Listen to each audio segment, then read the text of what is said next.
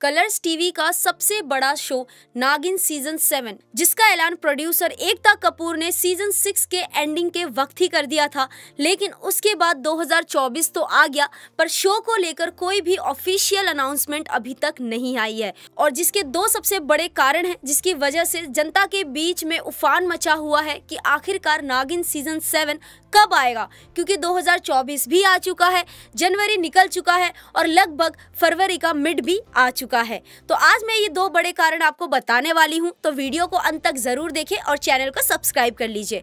Hello दोस्तों, स्वागत है आपका हमारे चैनल क्रिस्पी बॉलीवुड की क्रिस्पी खबरों में। पहला सबसे बड़ा कारण है मेन लीड यानी मेन हीरो और हीरोइन की क्लियरिटी अभी तक ये नहीं पता चला है कि अरे भाई मेन नागिन और नाग कौन होंगे? बिग बॉस जब खत्म हुआ था तो मार्केट में दो नाम बहुत ज़्यादा उछल रहे थे, अंकिता लोखंडे और अभिषेक का।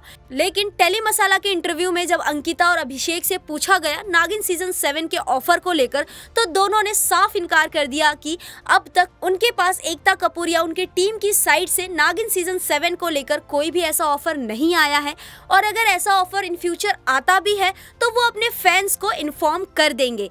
और दूसरी सबसे बड़ी वजह है एकता कपूर की चुप्पी ऑफिशियल अनाउंसमेंट को लेकर। अब आप सबको तो पता ही है कि एकता का अगर कोई प्रोजेक्ट हो और वो बहुत बड़े लेवल पे ही लॉन्च करती हैं और जब उन्होंने खुद अपने पोस्ट के ज़रिए बता दिया था कि इस बार न्यू ईयर गिफ्ट अपने फैंस को वो नागिन सीज़न सेवन के द्वारा देने वाली है, उसके बाद अभी तक एकता कपूर की साइड से कोई भी ऑफिशियल अनाउंसमेंट नहीं आई है।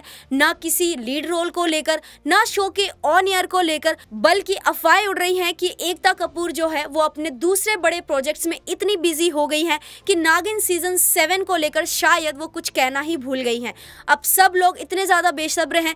हो सकता है शो के बारे में कुछ भी ऑफिशियल अनाउंसमेंट ना मिलने के कारण जितनी हाइप इस शो की बन रही है, उतनी तेज़ी से ये हाइप खत्म हो जाए। लोग इतना इंतज़ार कर रहे हैं इस शो को लेकर। अगर ये शो के बारे में हमें कुछ पता नहीं चल रहा है तो हो सकता है कि इन फ्यूचर अगर ये शो ऑन ईयर भी होता है तो जो फ़ैन बेस अब तक सीज़न सिक्स तक चलता आ रहा था, वो कम हो जाए। आप लोगों को क्या लगता है कि एकता कपूर को मार्केट में आना चाहिए? एकता कपूर को एक बार तो ऑफिशियली अनाउंसमेंट कर देना चाहिए कि आखिरकार नाग नागिन है कौन और शो आखिरकार कब तक आएगा? मार्च में आएगा या इस बार भी शो सीधा अक्टूबर में ऑन ईयर किया जाएगा? मुझे कमेंट करके ज़रूर बताएँ और चैनल को फटाफट से सब्सक्राइब कर लीजिए, बेल आइकन को प्रेस कर लीजिए और बहुत जल्द मिलेंगे एक नए अपडेट के साथ। धन्यवाद।